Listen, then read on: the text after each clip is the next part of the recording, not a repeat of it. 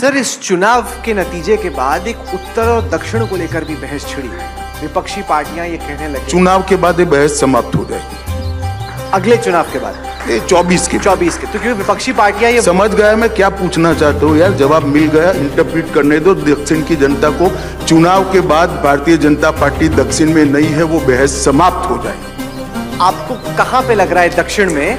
आप गेन कर अब वो हम 24 के चुनाव के दिन बात परिणाम के दिन बात देखिए कर्नाटक में हमारी सरकार रही है।